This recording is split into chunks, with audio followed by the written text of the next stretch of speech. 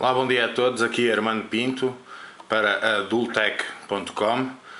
Hoje para vos mostrar um conjunto que tem sido aquele que tem tido mais procura na nossa loja online. Ok, trata-se do bumper Blade e das uh, capas traseiras para o iPhone. Uh, hoje vou fazer isto de forma diferente, ou seja, vou começar de trás para a frente. Começamos com a unidade já totalmente montada e vamos desmontar e com isso vermos uh, de facto uh, todas as particularidades desta bumper e capa traseira.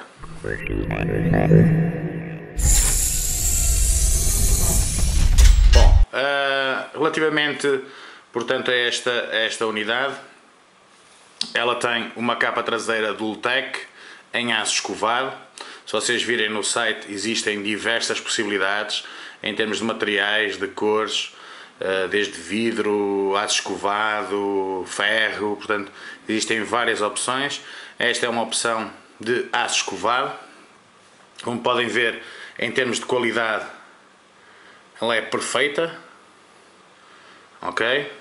E portanto, só para vocês terem uma ideia, portanto, uh, as peças vêm embaladas desta forma, portanto trata-se de uma traseira completamente igual à original. Eu vou só aqui, ok, este é mais um exemplo, esta aço escovado prateado, ok, acho que não vale a pena abrirmos mais, mas para vocês terem uma ideia, a substituição uh, desta capa traseira é extremamente simples, não vamos ver isso aqui hoje, mas no próximo vídeo eventualmente, e se vocês sentirem essa necessidade, por favor, comentem no vídeo e digam que gostariam de ver.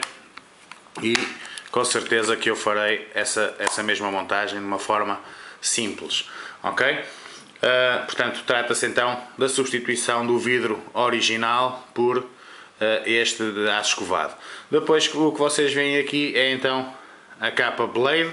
Como podem ver na loja online, existem uh, três uh, tipos de, de, bumpers. Uma preta, que é a que eu tenho aqui, uma gunmetal, podem ver no, no vídeo que entretanto vou colocar a passar por cima, e uma em cromado.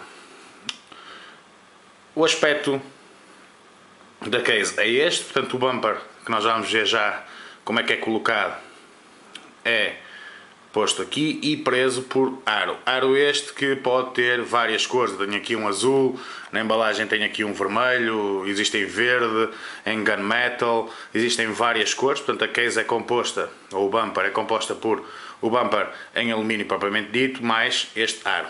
Como podem ver em termos de volume, ele acrescenta pouquíssimo volume e faz uma pequena transformação na zona dos botões, transformando aqui em dois botões metálicos, deixando o orifício para retirarmos o som e na parte de cima temos o corte na nossa zona do, do, do jack para som e uma transformação do nosso botão que se se recordam ou, ou quem tem uh, sabe que o botão do uh, iPhone é retangular e aqui é substituído por uma peça redonda em metal deste lado a abertura para retirarmos o cartão de SIM, ok?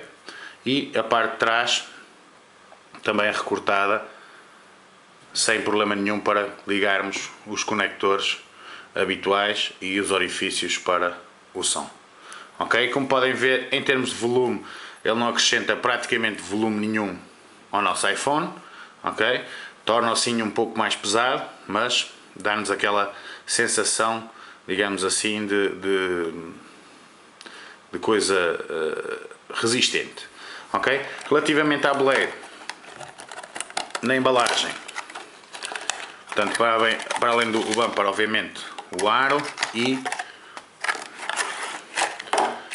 aqui na parte de baixo da, da case vem as chaves para apertarmos, parafusos suplentes e umas borrachinhas, uns pads para nós darmos mais conforto a toda a volta do nosso iPhone. Portanto, vou fazer a, a desmontagem. Ela tem quatro parafusos que os prendem. Ok? Aqui, aqui, aqui aqui. Ok? Vamos então fazer isto. Bom, retirando os parafusos, então ficamos com o nosso aro metálico que simplesmente sai. Portanto, é um aro em metal. Ok? E o nosso iPhone sai desta forma. Ok?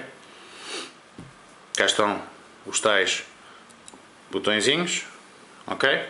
E o nosso iPhone com a tal capa traseira, como podem ver, perfeito em termos de daquilo que é o trabalho final. Podem obviamente trocar a capa traseira e usarem um bumper normal que temos aí na, na loja online, os bumpers Apple normais, ok? Portanto, a nossa blade trata-se de um aro metálico, ok? Lá estão as, as tais almofadas, não sei se conseguem ver ali, eventualmente aqui também, aqui, vamos ver, ali em cima, ok? Isto dará, digamos assim, algum suporte uh, ao nosso iPhone para que ele não esteja em contacto direto com o metal. Ok? Uh, portanto, trata-se de facto de uma, de uma peça exclusiva, ok? De uma peça uh, metálica que de facto acrescenta um design fantástico ao nosso, ao nosso iPhone. Eu vou agora montá-lo rapidamente para vocês verem, digamos assim, a montagem uma forma rápida. Introduzimos então os botões no sítio. Este cá em cima. Ok. E o nosso iPhone lá para dentro. Ok. Tá? Está no sítio. Está a funcionar. Perfeitamente. Ok? e agora a nossa peça metálica em cima e voltamos a parafusar. E está então concluído. A nossa montagem. Extremamente simples, rápido. Ok? Podem ver todos os botões funcionam perfeitamente. Sem nenhum tipo de esforço. Ok? E temos um telefone com um design diferente como eu disse podemos trocar os aros em vez de colocarmos o azul podemos eventualmente colocar um vermelho e teríamos este efeito. Ok? Certo? Portanto, e bem como as capas traseiras podemos colocar as, as que mais acharmos adequada para a situação. Espero que tenha sido uh, útil este vídeo. Em termos de pontos positivos, a proteção. Ok? Temos o nosso iPhone seguríssimo.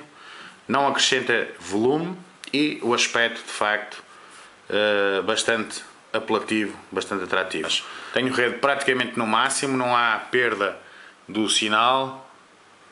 Se nós o segurarmos na forma que normalmente perde sinal, reparem, não tenho qualquer perda de sinal em termos de, de rede de telefone. Ok? Portanto, não temos o problema da queda de sinal, temos uma capa resistente, dura, metálica e de facto uh, um aspecto uh, fantástico.